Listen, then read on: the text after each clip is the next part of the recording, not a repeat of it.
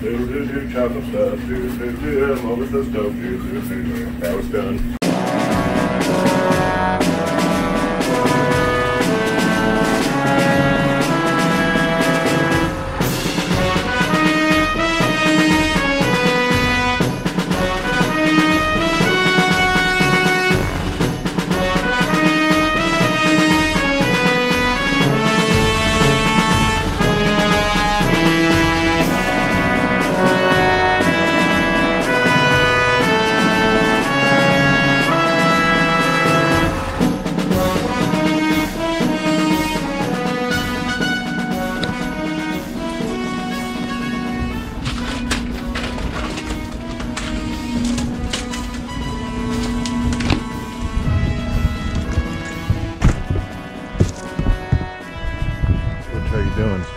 Need one of them little movie boards.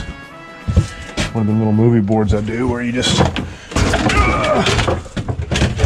you just write the you write the scene number and the and the how you doing because you know I switch cameras so often.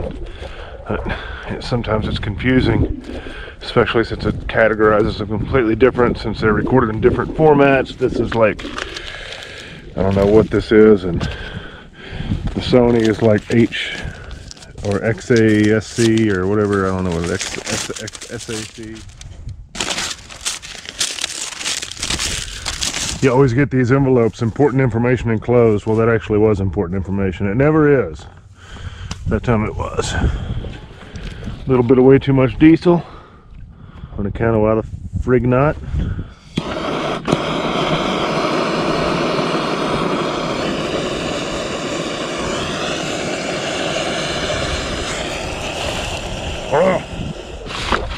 Hot flame. What are you doing, kitten? I think I have just about everything I need in there. Actually, yep, I think I already brought everything in. Let's burn this stuff up. I can go inside and start to, as quietly as I can, work on ceiling.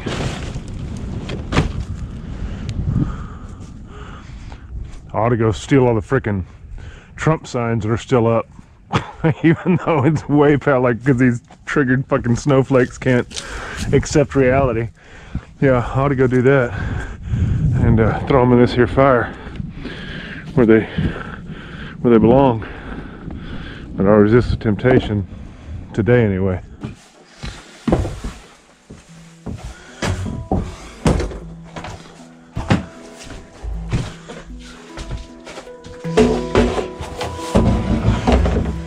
Definitely gonna be cramped in the closet. See, I'm gonna try to hit the vacuum up first and try to get all the little hanging hanging bits. And then uh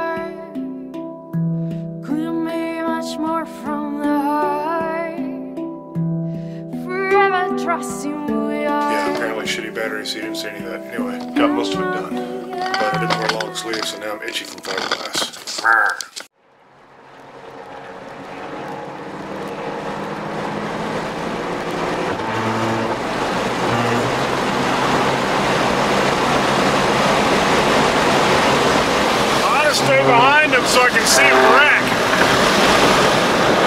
I'll just stay behind him to see him wreck. But the third time he almost ran off the road. But he's probably gonna jackknife and then take up the whole road and then I won't be able to get by and I'll be stuck here for hours having to be an accident witness. Be okay. Oh my goodness. What could we be making today? Some of y'all may not be aware, uh, but my kitchen is in the process of being remodeled. Ergo, the uh, taped up wall and the electrical cord coming through. Uh, got a big wind, windy, windy day today, and uh, I have not I have not filled in. That used to be a vent for the former hood. The new hood is ventless, so that wall's got to be sealed up. It has been sealed up from the outside, but I've still got to put a piece of sheetrock in and drywall it. Have yet and uh, dry put patch it, you know, seal it, mud it, tape it, whatever, you know what it's called, and then uh, hang the hood. So that's what's going on there. So just ignore all that, and you know, it's beautiful aesthetics. So the first thing I like to do is bacon, and I like to do it with scissors because it just seems like it's the easiest. And uh, you want about a pound of bacon. I mean, at least I want about a pound of bacon. I'm not sure how much bacon you want, but I want about a pound of bacon. And uh, I usually just take a slice, I slice it in half, and then I slice these halves into, uh, you know, whatever, half inch, half inch cuts. Probably about time I gave my scissors a cut again. If your bacon is actually slightly frozen, it makes it easier. Just ever so slightly. Like if you've taken it out of the freezer, if you just wait till it's not quite, not quite uh, defrosted, then it cuts a lot easier. And it also cuts a lot easier if you actually sharpen your scissors once in a while. But I have neglected to do that as of late. But we'll struggle through it nonetheless. You know what? I didn't struggle through. It was, uh, they're too dull. So I'm about to start, I'm about to sharpen this. I've actually never used this. I bought this like a year and a half ago maybe not quite that long, and it's literally just been sitting in the uh, in the how you doing zone. Let's see if I can get you a little bit better angle here, little, little bit better of the angular. I just watched video. Apparently, you just put it in a little thing and make sure the blade's perpendicular to the belt, and then start it and stop the uh, stop the blade on the tip.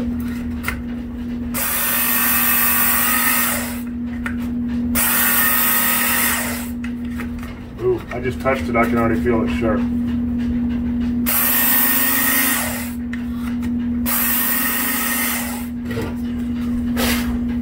Alright. It's a little bit difficult with scissors. Seems to be a little bit difficult with scissors because, uh, you know, you gotta kind of manipulate the position. But let's see if we have better luck now. Oh, yes. Oh, that's what scissors do. I remember now. I remember that's what scissors do. I think I paid fifty dollars for that Work Sharp. That is definitely worth it. Probably could get these just about razor sharp. Get them cutting through chicken bone again like they used to. Oh yeah. Oh yeah, that's nice. Very nice. I mean, again, bacon ain't the loveliest. Bacon is not the loveliest thing to try to cut through, and that's what helps it. That's why it's better when it's uh, slightly frozen because you don't get all that buildup of fat on the blades, which immediately starts to uh, make the scissors not perform as well as they otherwise would. I mean, I don't know the actual science behind it. That's just my personal experience.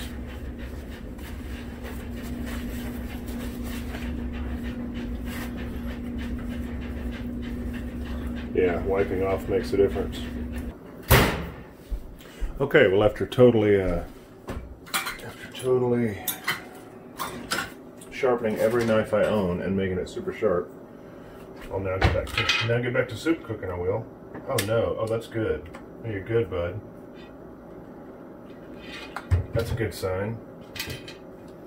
I just got a screw just apparently not even in one of these things. That's a great sign.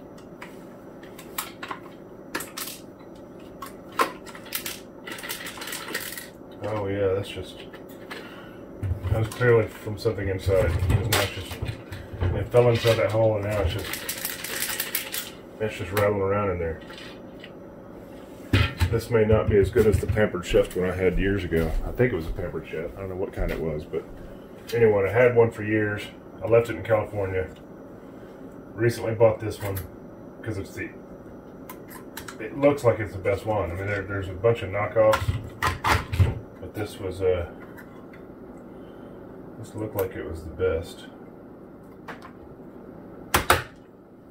Okay, I think we're about to be in business.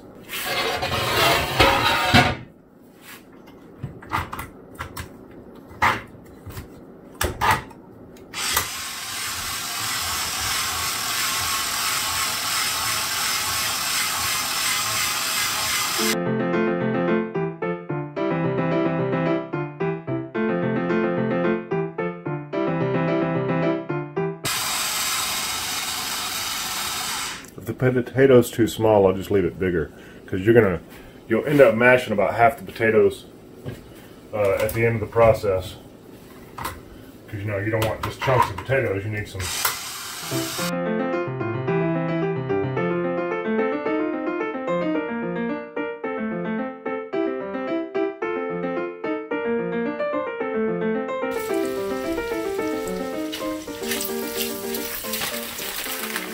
That's why that's covered with a towel because that's not a countertop. That's just a board because the countertop like that is curing with epoxy. And when that's done, that'll go down, and then I'll take that counter back, and I'll do that one. And then we won't be cooking anything but pizza for a week. I'm not going to have a counter for at least a week. But then after that, I can finally attach the sink, and oh, glory days, glorious, glorious days. All right, actual potato amounts. Um, not really sure. Uh, I think the original recipe that I based this off of, I think it called for, I think it called for eight to ten potatoes. Uh,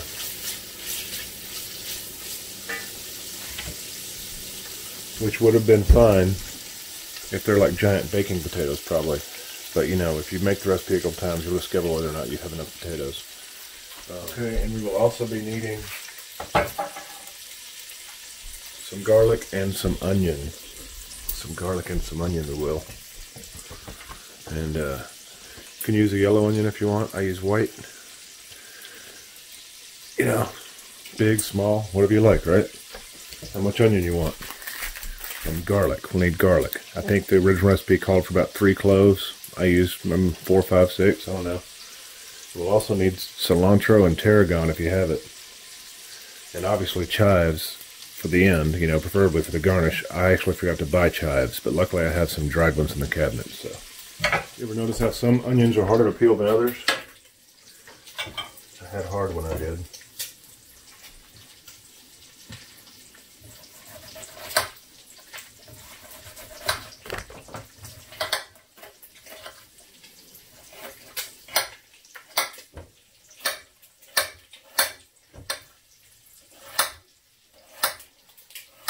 Yes, I used a paring knife for all of that. You hush your mouth. Okay, so chop your onions. Thusly. Not diced. Chopped. How you doing? And then you can uh you peel your garlic or, you know, squeeze it. Or flatten it with a knife. I'm gonna mince it. If you don't have a mince it, if you don't have a mince it, if you don't have a mincer, then you need to chop it up. And even if you do have a mincer, you need to cut off your bad spots if you have any. Thusly. Break the skin, stir the bacon. If you're forgetful like me and you would prefer for your bacon not to be Cajun, uh, at least half of it, then uh, set a timer to remind you to stir every couple of minutes. And see, that's why it's kind of uh, kind of subjective, right? Because onions always come in different sizes. And, you know, like every one of those cloves of garlic is a different size. So, you know, I guess if you had three giant ones, it'd probably be alright. Like two of those are tiny, one of them's medium, and two of them are semi-large. So, yeah, it's all individual taste, right?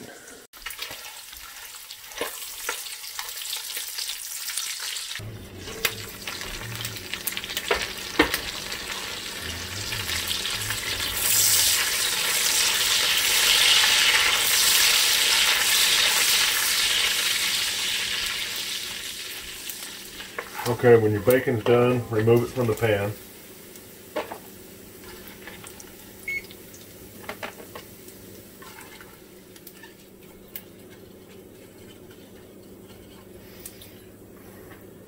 This is actually probably when it's better to not have a Dutch oven. Because it's too heavy for me to lift on my own and try to drain and... I mean, I guess if I had proper apparatus... Ah! Ah, burned myself. But I usually hold the Dutch oven and have the wife scrape all the bacon out into a drain pan so I can collect the grease, because you need the grease.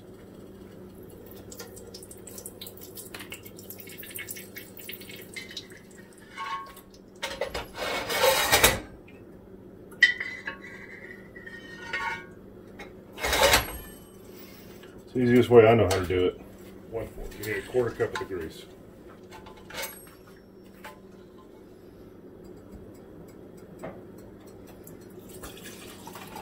Put your put your grease back in the pan, your quarter cup, and then you put your celery and your onions in. And I know right now you're like, uh, dude, you didn't say anything about celery, or you didn't do anything with celery, or did you just not show us that? No, we don't do celery because the wife doesn't like it. It was up to me, I'd put celery in there. I mean, maybe I would. I'd try it at least once, and maybe I wouldn't like it too. The point being, I never actually had it with celery because the old lady would not allow that to happen. Okay, we'll get those onions in that grease and saute them for about five minutes. And keep them moving. You know, every once in a words, so you don't burn them. You basically want to cook them till, you know, they start to go translucent. And I just turned my oven up to about four and a half, so not quite medium, but it was slightly, slightly lower this entire time. And one must resist the urge to, to just spoon handfuls of crunchy, delicious bacon into one's mouth. Although I may or may not have done so on occasion. Not resisted, that is. Okay, once your unslit here. Once your onions go translucent, you're gonna you're gonna add your garlic.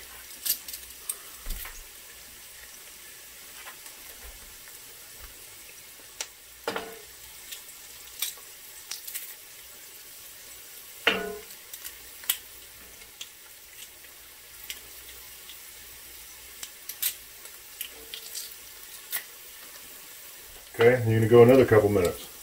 One to two. Tried several different potato soup recipes over the years, and most of them are pretty similar. Um, the biggest difference I've ever found is trying to use uh, Yukon Gold potatoes if you can. These aren't Yukon Gold because I couldn't find any. These are yellow Idahos. These are Idaho yellow potatoes, but Yukon Gold has the uh, correct amount of starch. If you use just a regular baked potato, you're going to get a really starchy soup that can be really, uh, you know, almost gummy. Especially if you, uh, when you when you add your thickener agent later on in the process, that you know you can really you can you can really gum up the work, so to speak. Okay, then we're going to add our potatoes. and you want to gently coat them with the oils and the onions and the garlic and saute for about four minutes. I probably should have might have used a little bit more bacon grease since I'm kind of since I increased my potatoes a little bit. I mean, even according to the recipe, I'm still using a little bit more potatoes than than it's called for. Of course, maybe that recipe, maybe, you know, they don't call for Yukon Gold, so if you're using regular potatoes, it could be way too starchy if you use more. You just, you don't want to break up your potatoes or chunk them up or mash them or mess them up. You just, you gently, gently toss them about and just saute them.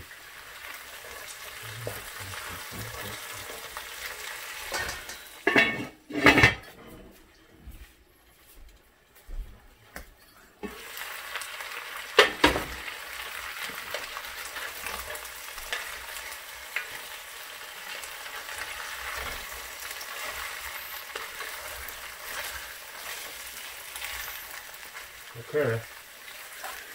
Then when that's up, that time's up, you're going to put your bacon back in.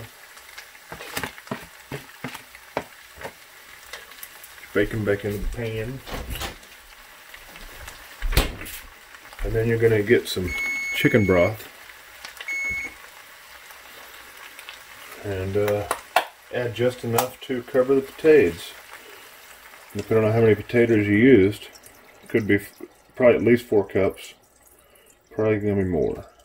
Gonna be more in my case anyway. Yeah, gonna, gonna be more. Yep, just pour it right over your hand. As long as your hands are clean, that shouldn't be a problem. But yeah, you just want enough to cover the potatoes, which shit is gonna be every little bit I have. If you want, you can give it a little quick stir. Then you're gonna put your gonna put your lid on And you're going to simmer until the potatoes are tender. On your temperature, anywhere from 30 to 30 to 45 minutes or so, maybe. 20 minutes, I don't know. Just check your tapes. Just check them. Stick them with a toothpick. Stick them with a fork. See if they're soft. If they are, we'll move on to the next step. Oh my goodness, have I had adventures? Uh,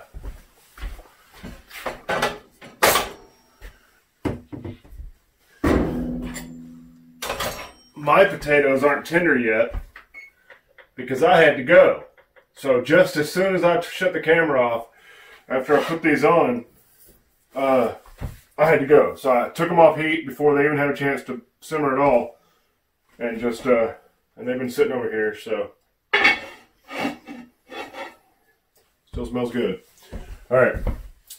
So I go. Uh, where we at here? Hopefully I'm in frame. So breaker bad, breaker good. Yeah, got a replacement. I've been meaning to do this for a couple weeks. Had the opportunity since I was going to the big town tonight. Uh, got my 4x4 Dorman switch in the mail. So scores on that because I've been waiting on that. And when I say I've been waiting on that, I mean I've been waiting to purchase that like since I've owned the vehicle. I mean I needed it like about a month after I bought the vehicle, or I didn't buy the vehicle. My stepmother gave it to me. But a month after that that vehicle was given to me, that switch broke. I don't know, it might have been a year, whatever. My point is, I needed to replace it for about ten years. Finally broke down and did it because the inside chip pieces started to fall apart. So hopefully, uh, hopefully I didn't mess anything up. Hopefully this this thing still works. Uh, and I was at a, I was at a tequila. Was almost out of tequila, which is dire straits, right? So, and this is this is what I drink. You know, used to drink that Patron, but that got too expensive. And this is almost just as good. If you're mixing it, you can't tell the difference. It is just as good, clean. I don't get a hangover. Liquor store out. Second liquor store out. I'm like, well, I'm about to go to the big town, and I don't, you know, I don't know what the pattern is going to continue. So I'm like, what's your next smallest size down from the 1.75 liter? Oh, it's a 700 mil. How much is that? Like 30, 33 bucks, 32.99. I'm like, that's a, that's expensive because I pay 40 something for these big ones, like 47 for these big ones. So for $12 more, I can get more than twice the, the amount, more than twice the volume. And, uh, but no, no, I got it on reserve just in case. And then I go to the big town, uh, and after I get that, after I get my, uh, my uh, my breaker there. I'm like, take me to the closest liquor store. There's one like a mile away called Discount Liquor. Who knew? Thirty nine dollars, almost ten dollars less than I'd normally pay for them. So I went ahead and stocked up and got three of them. And then on the way back, I stocked up on cherries because I was almost out. But the big news and the whole reason I had to leave altogether is because this is my super old Mr. Coffee Frappadappa machine and uh, been using it for years. And it works great. It makes good coffee. Cost me like 50 bucks. Matter of fact, once I dug it out of storage, because I was using it, and then when the kitchen fell apart, I stopped using it, and it was buried in a room. And when I rearranged the rooms to start in the old lady's art room, I found it, cleaned it, started using it again. But in the meantime, I had purchased this Technovorm Mocha Master, which is a super, super badass $300 top of the line how you doing? Just regular old coffee maker. I mean not regular old but regular old for for super duper. And but that's why it's covered up with a towel because i don't even use it anymore because i'd rather just make a fresh cup of joe at a time. And as you can see all my stuff for my fresh cups of joe all day. Like that's got a little bit of milk in it. That was my coffee cup. And that's the rinse thing that i have to use to rinse out to rinse out this section because here's the uh, not the best, not the best uh, setup. Like a little plastic dealy. Oh well, we're real close. Sorry, a little plastic dealy that uh, that goes over this here metal piece. The problem is, is you get a lot of buildup on that metal piece, and so you constantly have to. Uh, oh, I don't know if you can. You can definitely see at the top, but even at the bottom, you can see that little bit of yellowing where uh, from my last cup of coffee. But if you don't clean it, if you make a couple cups of coffee, that's where you steam the milk. Then the whole thing is like caked with like a milky, powdery I mean, like a caked on milk substance, so that's no good. Um, and that's always bothered me about it, but it's just a lot of maintenance. And then it's also a one cup deal. Like you unscrew that top and uh, you unscrew that top in the back. And you fill it up and it's good for one cup of coffee. And you, I mean, it's a little bit extra water, but it's not enough for a whole other. How you doing? And then weeks ago, months ago, I'm not sure when, a while back, I saw this awesome, awesome machine called a Breville The Breville Barista Express. Barista Express or something. I just came across a random YouTube video. And I was like, that is awesome. And this girl was getting it. And she's like, my husband, you know, is going to be really mad at me when she finds out about this. I've already got like three other ones. But uh, I really want this one. And it's really awesome. And let's unboxing and let's make first cup of coffee for the first time. And I watched the whole thing and I was like, well, that is awesome. Wonder how much I, I'd like one of those too. Check it out.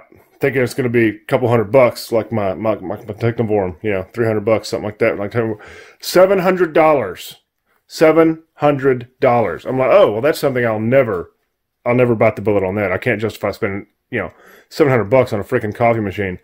The old lady gets a call or gets a Facebook message, gets a Facebook post from one of her nurse practitioner friends, who uh, is a coffee connoisseur herself and apparently also has too many coffee machines and her husband is forcing her to get rid of one. And so what do you know? Ta-da! The barista express you probably saw it earlier when i was had the but maybe you didn't identify that that was so yeah 700 on a machine paid 300 bucks for it i just uh, gave it a big wipe down. I mean she's a clean person. It was per- it looks clean but you know just in case of covidities. And uh in case of covidities. And she even gave me a jar with some beans in it. How nice. And she clearly is using it because it's still got beans in the hopper here. But it's got the automatic grinder and it's got the big carriage in the back that you fill with water. Just fill the thing with oh with the little little I don't know what that I don't know what the number disc is for oh it's a date Oh, for a water filter, it's got a water filter, and you set the date, so then you know when to replace your water filter. I'm not as worried about that. Oh, actually, it probably should be since I'm on well water and I have all that uh, all that lime and calcium and stuff. And then you got the little, you got the little tamper that just magnets in here for your coffee tamping, and uh, got your little milk, your little milk thing for your steamed. How you doing, zone? She's got a little build up on the end of her thing too. So see, it happens either way, but the fact is that, like when it's just plastic, it happens worse, I think. But you can see that our nurse practitioner friend, maybe you can or maybe you can't. There's a little bit of, a little bit of stuff on the bottom here. Heavenly shades and nights are falling. I don't know. Can you see it? So I can't see what y'all are saying, but Maybe you can. But anyway, I'll uh, no, big- no big whoop. That is to be expected. I guess it's par for the course. I guess it just it, that's that's what happens when you're messing with these types of machines. But yeah, it's got the special little temperature and it's got the automatic grinder and you got the grind setting over here and uh, the amount here. And uh, oh my goodness, filter size, single, double. I don't even know how to use it. I gotta watch a video. I'll have to watch. I'll have to watch. I don't even know how to do it. And I'll have to wash, actually wash all the parts because you know I'm anal retentive. But soup's back on now. Soup's back on. And uh, and I got the cherries and the tequila and I got my new coffee. Oh my goodness. It's actually I thought it was a lot bigger. So I'm pretty stoked. But now This. I got I need to find a home. I need to find a home for little Mr. Coffee, I do. Because, you know, she's still great. And honestly, I actually just bought this tamper after watching the video that showed me the other stuff. And I was like, oh, that's what I need for this thing is a tamper. I've never had a tamper for it. Never had a tamper to tamp down my grinds. And uh, and now I do. And it's uh, so now that that should probably find a home. Um, I would totally give it to somebody that would actually use it.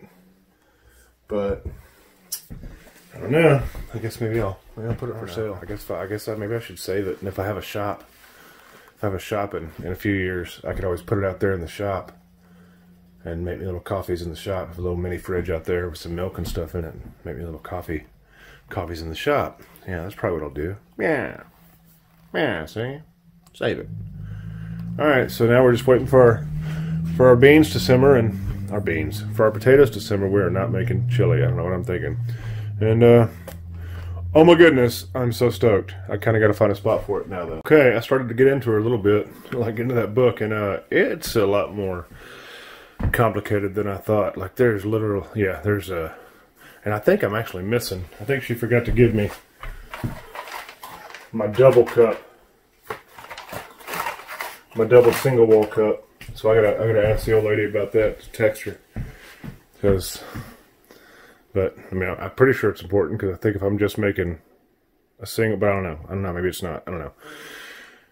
Always order one probably, but yeah. So set the old one back up, cleaned up the cleaned up. Uh, still got to clean up all the actual stuff in dish parts. I just you know wiped it off with a Lysol rag. But yeah, I broke out the other one in case. Uh, I'll probably watch videos on this one in the morning. On this one in the morning while I'm uh while I'm drinking coffee from this one. I'll learn how to use this one. And uh, in the meantime, our soup is ready. I have not stopped all freaking day. I literally, I may have sat down for 35 minutes. The entire day. Since, whatever. I mean, I sat up this morning. So whatever. I woke up, woke up at 6 and I sat around for about 3 hours and then after that I haven't stopped moving all day. Okay. Okay. Last things we'll be needing. Three tablespoons of butter.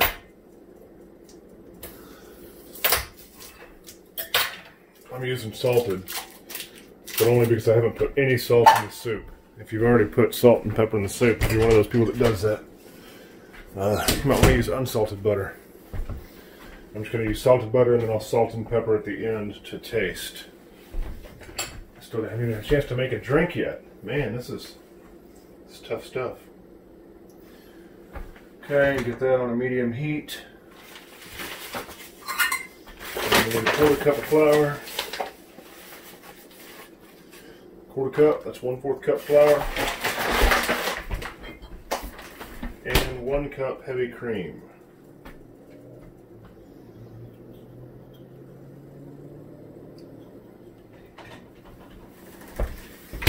I don't know why I always buy the big thing of heavy cream though. I could probably just use the small one and it'd be better. I don't have any cilantro because you can't find cilantro in Georgia. Son of a gun. I went out, really went to the store to buy cherries, and still didn't buy fresh chives. Man, I'm a goof. Why would I do such a thing? So I got a teaspoon of tarragon here. Dried tarragon, and I'm just crushing it up. And I'm just melting the butter over medium heat. Melting the butter, melting the butter. When the butter, butter melts, we're going to whisk in this uh, flour, cook that for a minute or two, and uh, then we're going to pour in our cream and our cilantro and tarragon, except we don't have any cilantro. And we're going to mix that up. We're going to bring it to a boil just real quick, stirring it constantly until thickened, which happens like that. It goes from almost thick, almost thick, almost thick to glue. So you got to keep an eye on it. And when it's when it when it's when it's right, as soon as it thickens up, you pour it into your how you doing zone. Pour it right into your soup. So our butter is just about melted. See if we can get y'all some. I should have brought in my taller tripod. That would have been more beneficial.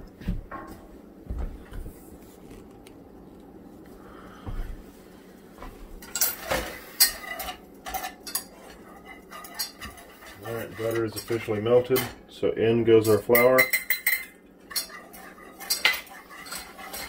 Timer, one minute.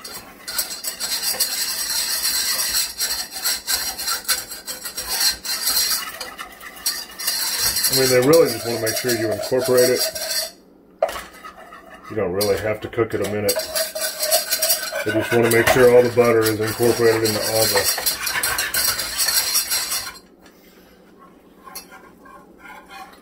And then you can pour in your cream your spices. And then we're going to turn up the heat just for a minute.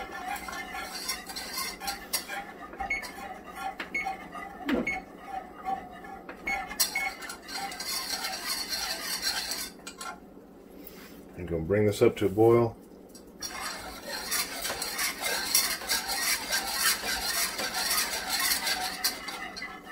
And you don't want it on a full high. Like put it on about three quarters. Of your burner because this is just a little bit of liquid. And like I say, it goes to glue so quick.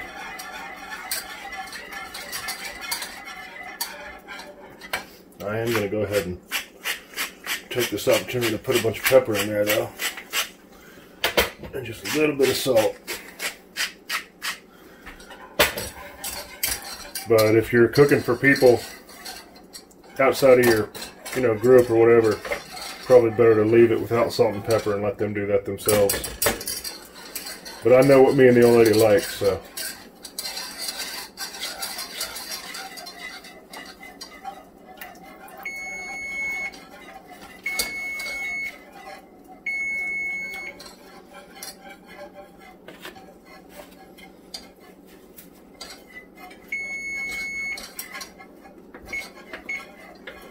Okay, it's thickening. You'll feel it start to thicken up.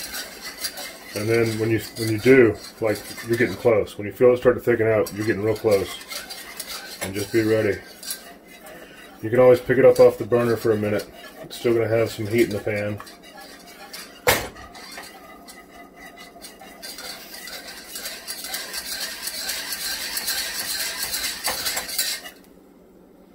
See, starting to starting to get there. And so as soon as it really starts to thicken up, you get it off the heat and really just whisk the out of it. And then get it into your soup. Before it becomes glue.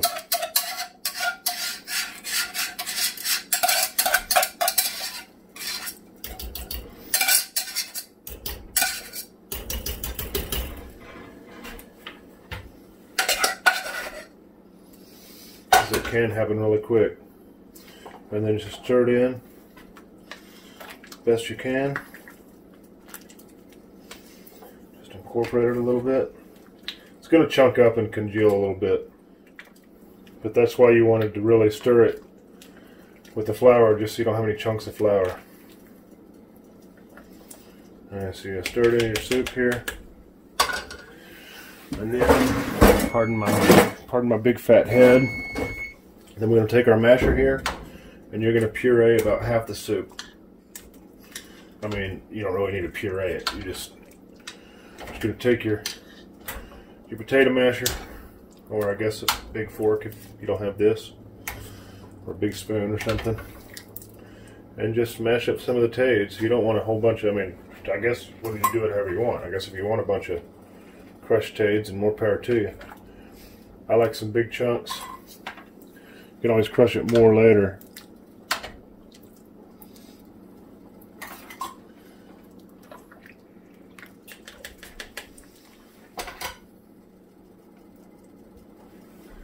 But that is pretty much potato soup. Now I will, uh, I mean, it's ready to eat now, but I'm going to go ahead and put the lid on it.